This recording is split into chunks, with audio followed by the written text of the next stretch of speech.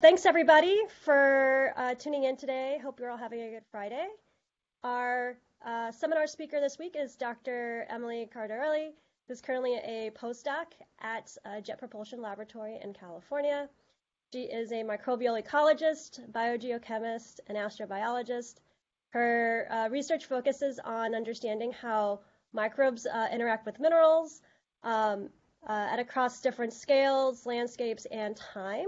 She applies an interdisciplinary approach uh, to her research, combining mainly laboratory and field-based studies, where she uses uh, genomic and uh, geochemical techniques to characterize um, organo-mineral interfaces, so again, how microbes really interact uh, with minerals, and also biogeochemical uh, processes. While her work has mainly been in the American Southwest, uh, she's recently expanded uh, this work to Mars. Uh, she received her bachelor's in Earth and Environmental Science from Tulane University uh, in Louisiana, which is in, in, New Orleans, and then pursued a master's and PhD at, at Stanford University, where she graduated in 2020 and as I mentioned, she, she then uh, started her postdoc uh, position at JPL, where she's currently based. Um, there, she's been involved with the Perseverance rover, both in research and uh, doing operations. And I think she'll be sharing with us uh, some of this uh, new research a little bit at the end of her talk today. And so thank you again, uh, Dr. Cardarelli, for taking the time to chat with us and take it away. Thanks again. Thank you so much for that great introduction, Frances. I'm so glad to to be here with you all, and uh, I'm looking forward to sharing some of my PhD research uh, that I'm working on publishing, as well as some new Mars-related uh, research and information on SHERLOC, which is one of the instruments on the Perseverance rover, and that I'll introduce a bit later. So as Frances mentioned, I'm a postdoc at JPL and I'm working on the Mars 2020 team and there's uh, there's about 450 of us or so. And so it's been a very interesting uh, collaborative experience and our main mission objectives are characterizing the geology, potential astrobiology, uh, sampling and preparing for humans on, on Mars. And I predominantly focus on the astrobiology aspect of these mission objectives, but as Frances mentioned, I also work a fair bit in mission ops, so that involves uh, using my, ge- my geology and Earth systems background to examine targets and select targets uh, in line with the with the goals and objectives for for that day. And a major question driving my research is uh, do subsurface micro microbes exhibit patterns on regional, local, and or uh, spatiotemporal scales? And how do environmental factors and conditions influence the subsurface communities and biosignatures that we might see, both on Earth and potentially on Mars? And in mission operations, we have uh, SOLs, which are uh, the days that we're on Mars. So for to Sol's adventure, uh, I'm going to start by talking about regional patterns that I identified in the Western US. Uh, and then I'll move to talking about a specific site. So I studied uh, five sites, which I'll introduce, and then I'll focus in on one site where we, we were able to do a temporal study looking at a flood event and uh, microbial community dynamics that, that occurred uh, with the flood to drought transitions. And then I'll move to uh, Jezero and talking about SHERLOC and seeking evidence for, for past life using this instrument as well as uh, the other ARM instrument, PIXL. So we'll start on the Colorado River Basin, which I think is actually a fairly good uh, analog for Mars. So it's a semi-arid environment. Uh, it really only gets um, moisture uh, due to snow melt predominantly. And uh, the work that I'll present is focused on uh, the floodplains and adjacent areas uh, to the both the Colorado River, San Juan River, and uh, and in the Wind River Basin, uh, the Wind River. And one of the reasons why I think that the West is a fairly good analog for uh, for Mars, particularly in um, in the wetter period uh, of its geologic history, is because that a lot of the floodplain sites or the floodplain sites that I'll present are former uranium contaminated sites, so they have been remediated, but they still have some uh, uranium within the subsurface. And if we think about uh, the subsurface in terms of uh, categories defined uh, by Jones et al. that may make up a habitable zone. We have uh, electron donors and electron acceptors. We have a potential uh, uranium source, as well as buried organic matter uh, within these flood floodplain systems. And these systems also experience drought to flood events because most of their precipitation is uh, falls as snowmelt and then releases through time, and so there's a characteristic uh, flood in the in the um, in the late May to June time period, depending on where you are. And so, for the purposes of this talk, uh, I'm defining a microbe, a microorganism, I'm going to probably use those terms interchangeably, as uh, bac- bacteria uh, or archaea. And this is a FISH image, and those are just a bunch of archaeal cells in red, and then you see the bacterial cells in green uh, within this biofilm. So single-celled organisms. And using um, the 16S rRNA gene. So I did do a fair bit of um, genomic sequencing as well in my PhD, but today I'm just going to talk about um, 16S rRNA trends. Uh, and basically using this gene, we're able to compare different parts of the of the tree of life. So I'm predominantly going to be I'm going to be focusing on the bacteria and archaea, but basically uh, using this this marker gene enables us to compare them at the same time and also uh, led to the discovery of archaea when when uh, when Carl Woese realized that this gene it basically changed fast enough so you could you could look at changes between different domains, but it didn't change too uh, too quickly. So it's sort of the right uh, the the right amount of change. So you, you were able to compare within domains as well as across domains. And with uh, with high throughput sequencing, we've been able to basically to indirectly identify many organisms that we previously weren't able to culture and uh, widely expanded the tree of life. So the so all these extended branches. Uh, this paper was in uh, 2016, 2015, 2018, and even since then, it every year it it uh, it grows, especially with um, metagenomic and metatranscriptomic sequencing as well. And we study microbes because they're small, yet they're uh, they're mighty in their impact, and they can control major biogeochemical processes that affect uh, climate change as well as um, different nutrients, like different nutrient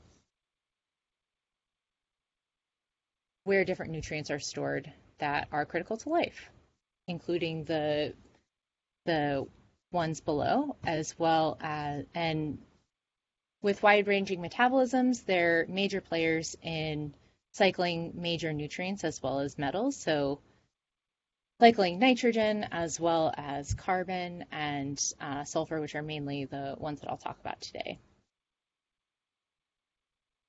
And those are outlined here.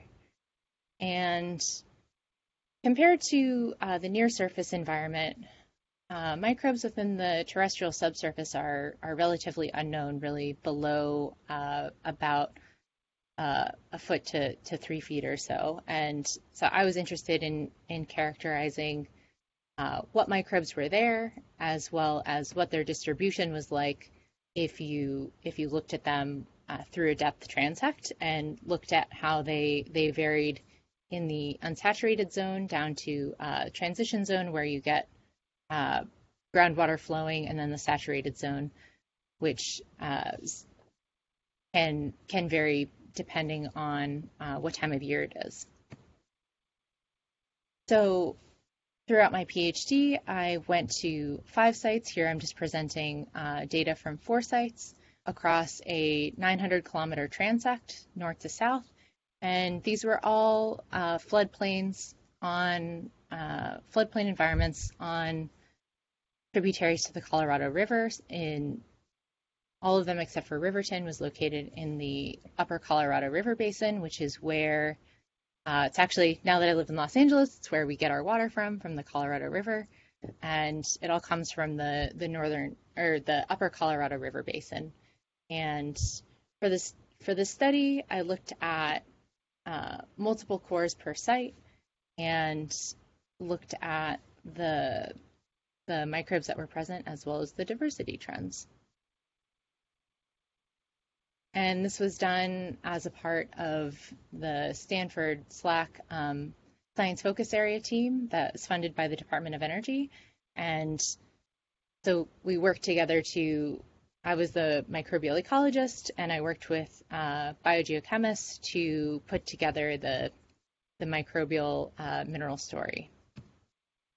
And so this involved us uh, all going out and setting up a lab in the field and then coring um, using various techniques depending on how deep we were going.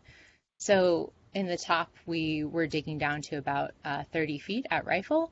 And below, you can see that uh, Scott on the left has a shovel. And here we were only able to go down about uh, about six feet or so because we hit the, the water table and then couldn't go through through that.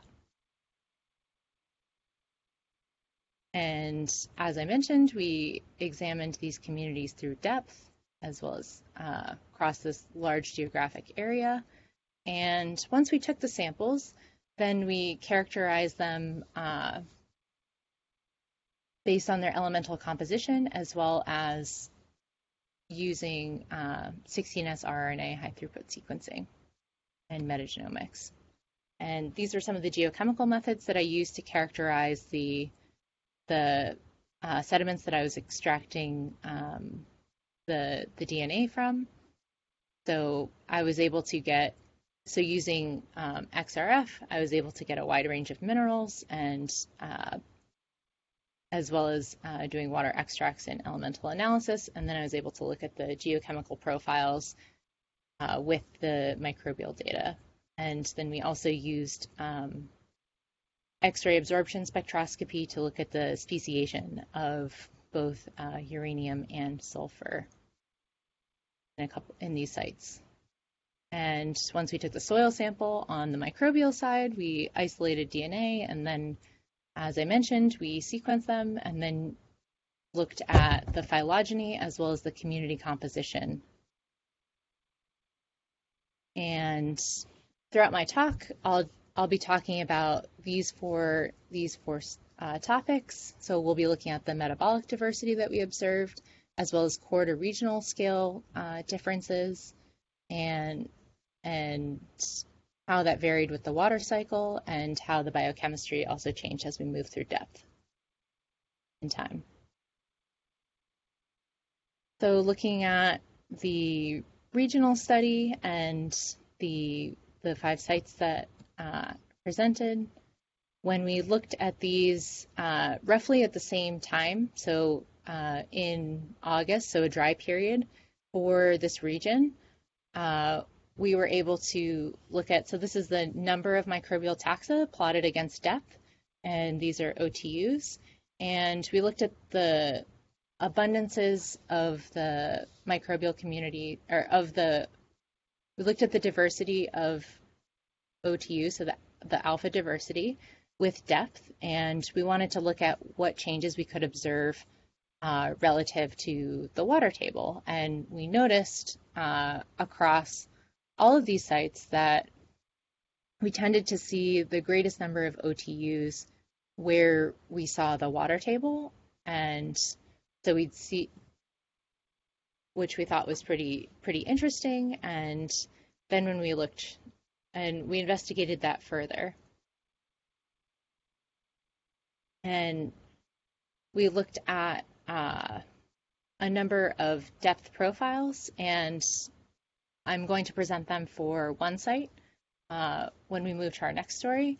But we basically found that there were uh, major players that were responsible for specific processes, um, such as ammonia oxidation. So we found that ammonia oxidizing archaea were the most abundant um, ammonia oxidizers in the system. We found that nitrospira was the most abundant um, nitrite oxidizer, and they were vertically stratified. And we saw the Thaumarchaeota and the nitrospira in the unsaturated zone. And then as we transitioned down in the cores, and this happened at uh, different depths depending on the site that we were at, but when we started to uh, go down into the water table and we're at this transition zone, that's when we started to see um, iron oxidizers and reducers, as well as uh, sulfate reducers and um, methanogens.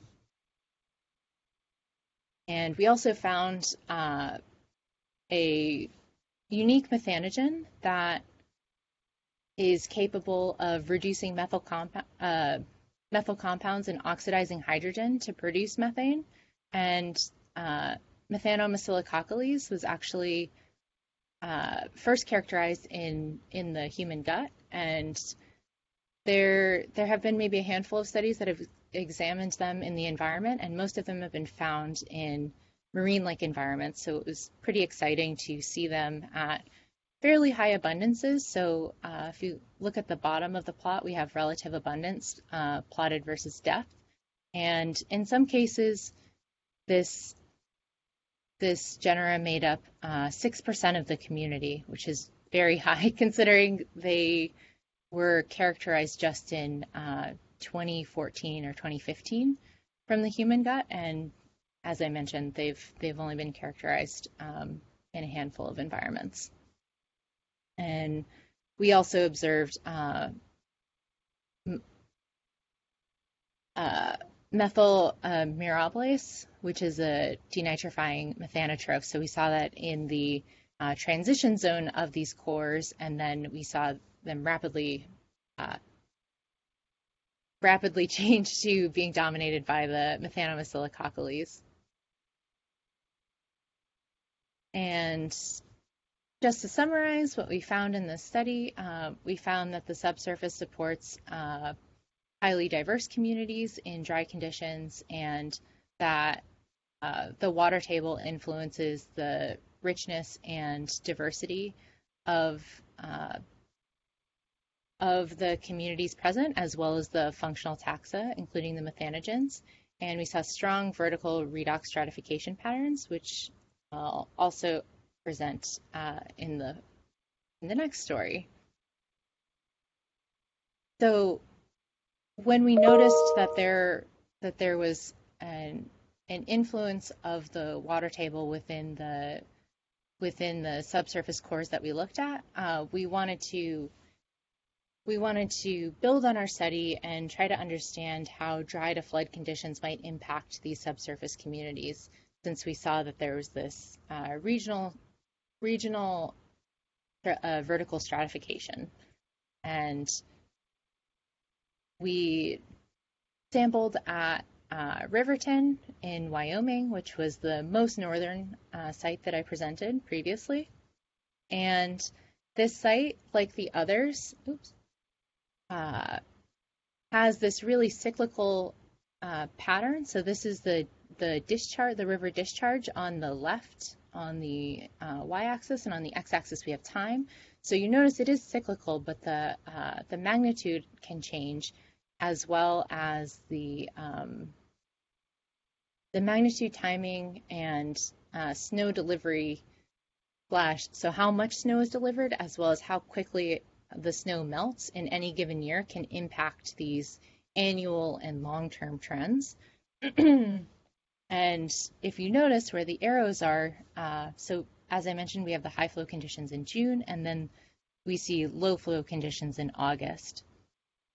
Uh, and the arrow indicates, uh, you can see that that point is actually quite high. Um, and that happened to be in 2016, what uh, right after we had done our our study of the communities under dry conditions, we had a massive flood, and that was due to the uh, El, El Nino conditions between 2015 and 2016. And when you have a flood event, the snowmelt not only does it uh, alter the, the river conditions, it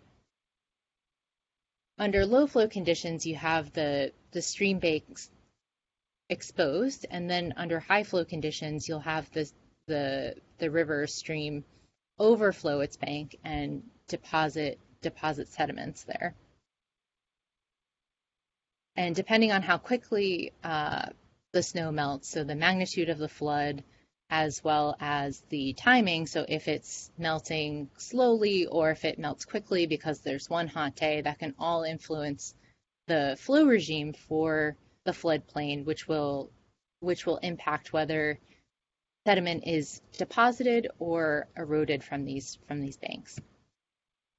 And when you do have deposition, these can record uh, past conditions in in within the river, and uh, we found that these these uh, zones, which were high in uh, that could potentially become uh, exposed, that they held uh, lots of carbon and metals, and so we we called them naturally reduced zones. So they tended to be reduced. So they were fine grain sediments that were deposited amongst these uh, larger grain sediments. You can see there's some large cobbles there, so indicating that there, you know, was higher, uh, higher a higher flood regime versus when uh, you had these fine grain sediments in which you had a lower flow regime and these were deposited. And so because they were reducing, they tended to contain um, carbon as well as nitrogen and other uh, other metals because they were reduced. And as I mentioned before, when you have these flood events, and depending on how quickly they happen and what magnitude they are, they can they can alter the the biogeochemistry of the floodplain. And uh, these naturally reduced zones can uh, can support large, diverse microbial communities depending on what is contained uh, within these zones.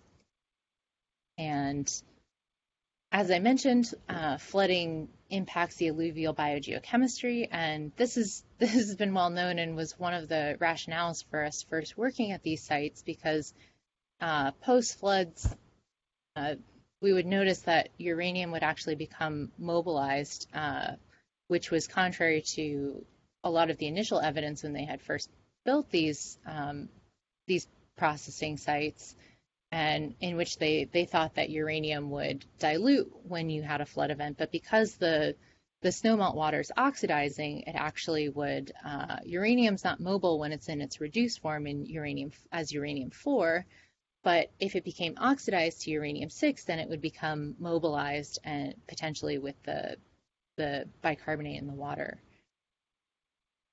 And so we know that it influences the, the oxidation state of the, of the floodplain, but we were we did not know how it affected uh, other species within the floodplain, as well as the microbial ecology and uh, how the communities might change.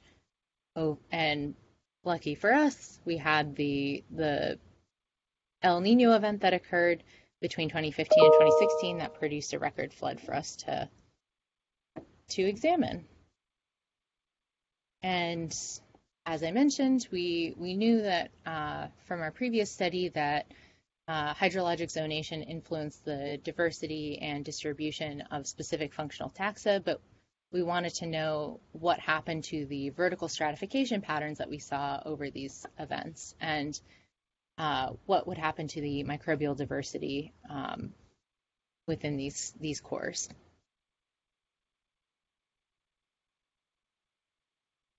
And so these are the three times that we sampled. So when we took our first uh, sample, it was under low flow conditions, and then after the, the peak of the flood, uh, when we were able to access the floodplain, we sampled uh, under the high flow conditions, and then we sampled again in uh, August, which was again a low flow condition.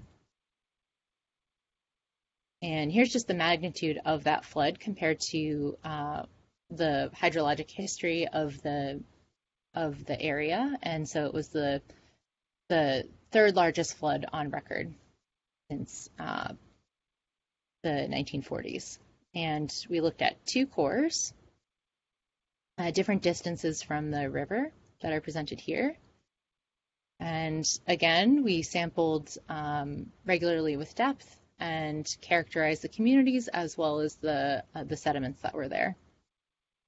And similar to the, the plot that I showed earlier on the regional scale, when we looked on a um, temporal scale, we saw that the diversity was higher um, in the under the dry conditions in 2015.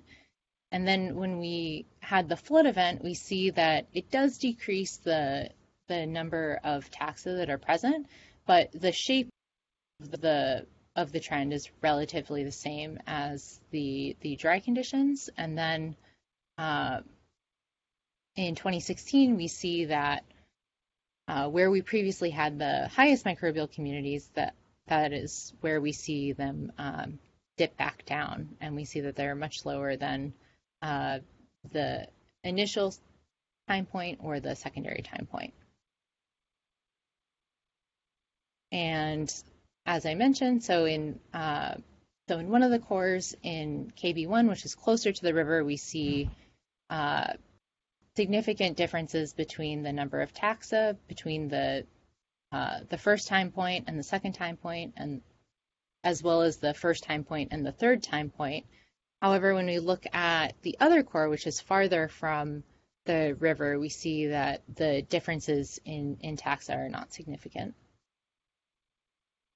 And when we look at uh, the functional taxa, uh, for example, those related to ammonia, ammonia oxidation, we see that, uh, so this is the initial sampling condition, and we see that in the top um, 100 centimeters, we see that uh, Nitrososphaera, which is typically a terrestrial-like um, ammonia oxidizing archaea, is uh, very abundant and then decreases in abundance uh, in this transition zone, uh, which is where we we have uh, the transition zone that was previously shown between the unsaturated and saturated zone, and then we see below the transition zone that the that the ammonia oxidizing or uh, ammonia oxidizing taxa that's most abundant is the Nitrosoarchaeum, which is typically found in estuaries uh, below that, which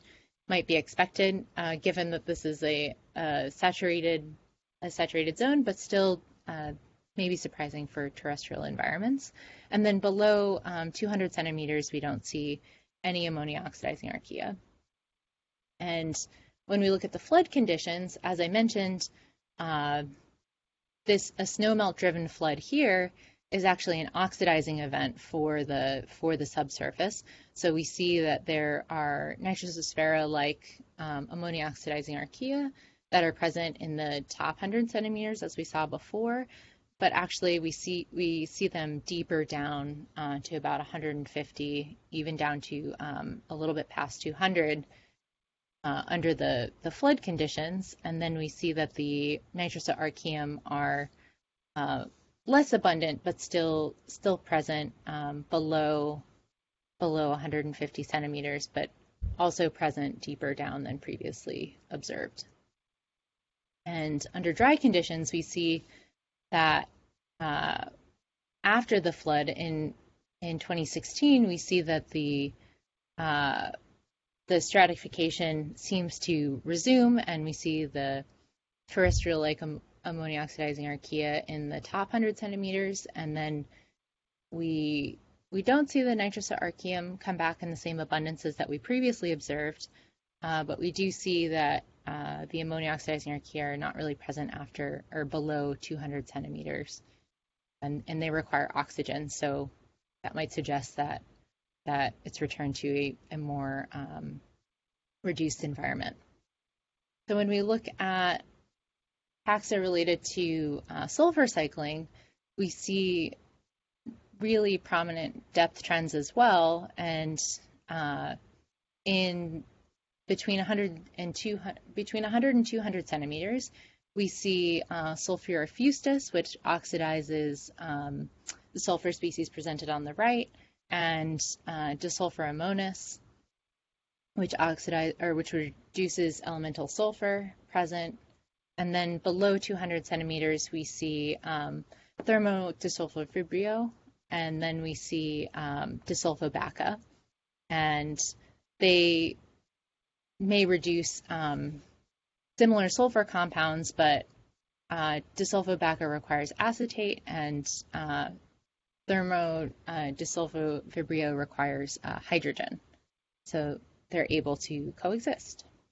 And we also looked at the uh, speciation uh, of the of the iron and sulfur and saw that uh, we had calcium sulfate, and then in the deeper depths below uh, 200 centimeters, we saw more reduced sulfur uh, phases, which is consistent with our hypothesis that the environment's reducing below 200 centimeters.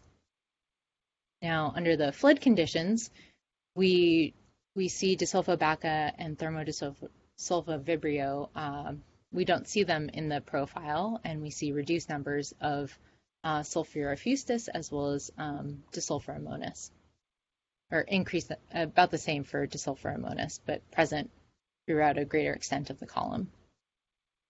And then under dry conditions, we see that uh, the stratification seems to seems to return, and we start seeing um, taxa that require anaerobic conditions present again. And when we look at um, anaerobic carbon cycling uh, taxa, so we looked at, um, we predominantly saw Bathyarchaeota, Methanomassiliicoccales, as I previously mentioned, and we did see a small number of Methano uh, And under the dry conditions, we we see them in particular in 2015. Uh, and then during the flood conditions, we don't see them at all, which was quite striking since they're uh, present in up to 15% of the of the community. And then after the the flood, we see them come back to uh, less than 5%. But it does seem to uh, indicate that that the conditions are reducing and favorable for them to come back. So large takeaways from the spatiotemporal study, um, large flood events alter the stratification and structure of subsurface communities, and there's an overall decrease in size of the uh, community, and as well as in the evenness, which uh, I'm not showing here today, but uh, you tend to get a few num a few microbes that tend to um, increase quite drastically, so the, the community is less even uh, after the flood. And we see that the, the taxa that do become uh, more abundant are different than the taxa that, uh, that we started with. So indicating that microbial succession might be occurring. And the flood also breaks down uh, the geochemical trends that we observed previously structured by the by water and the water table and it seems like there's a community recovery period. And so just some broad takeaways from, uh, from the work I presented today. Uh, and if you have questions about anything, uh, feel free to, to ask. I'm happy to go into more detail. I just wanted to make sure we got to Mars after talking about the regional distribution of these, these microorganisms. Uh, so we see diverse microbial communities present uh, and some really interesting taxa, um, both from the ammonia oxidizing perspective, or as well as from the uh, methanogens. We see regional depth specific stratification occur uh, and develop, and we also see that water structures uh, the subsurface microbial communities and uh, potential redox gradients that set up, and when we have uh, fly or flood to dry conditions, we see that those might support um, microbial succession.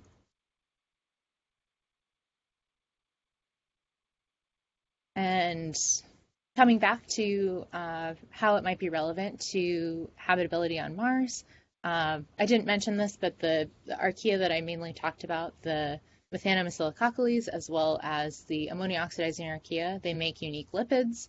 And uh, knowing that they're most abundant in the subsurface might help us target uh, target potential biosignatures that we're looking at on Mars, and we also and also uh, I think that this this region could be an uh, an analog for the period that we think uh, Mars under which Mars was uh, cold and wet, so basically in the Noachian, and might be a, a good place to look for um, how biosignatures are being preserved since it's also a an arid environment that might have experienced that experiences uh, major major flood and drought conditions. So moving to Mars, uh, this is Jezero crater, and the star indicates where we landed on February 18th uh, of this year. And we believe that this is an ancient river delta um, and was previously an ancient lake that also underwent uh, a large dewatering event. And here's Perseverance, and I wanted to provide the link for uh, for images that were publicly available. So the images come down every day, and or almost every day, and they're released to the public about the same time uh, that we get them. So if you're curious, uh, please go here and and follow along. Um, and there's also a geocache um, target on Percy, so you can also, you know, figure out where Percy is through that through that way too. Uh, and the instrument team that I belong to uh, is the SHERLOC team, and SHERLOC is, if we go back to Percy, uh, to the right is the arm that's raised up, and this is one of the main features that's uh, really cool about the Perseverance rover versus the Curiosity rover is that we have this extendable arm that's uh, capable of taking selfies, but also capable of drilling cores. So we have uh, 43 core tubes on board, and we'll be taking about uh, 38 of them. And within within that arm, in addition to the drill, there's also uh, two instruments. So PIXL is basically an XRF uh, on the arm that is portable, and then we have SHERLOC, which is which stands for Scanning Habitable Environments with Raman and Luminescence for organics and chemicals. So basically, we use a deep UV Raman to uh, to look at patches of, of rock or regolith to potent, to detect uh, organic compounds and chemicals. And these, so this is where we have been so far.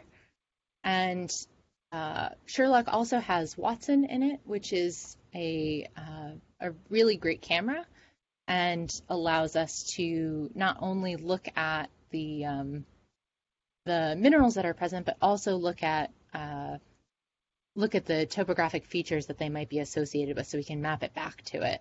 And the image in the middle was taken by Watson, and the details just amazing. I don't have a scale bar on there, but uh, the Im- the image is similar or it's the same I have oriented them so the shots where you see here uh, you can see on the other image and there is a scale bar so these this is less than uh, on the millimeter scale and we're able to make out uh, grains as well as grain shapes and uh, it's it's pretty phenomenal and really nice to have when you're mapping back the uh, spectra you're getting and to see if it correlates to a potential grain or a grain boundary.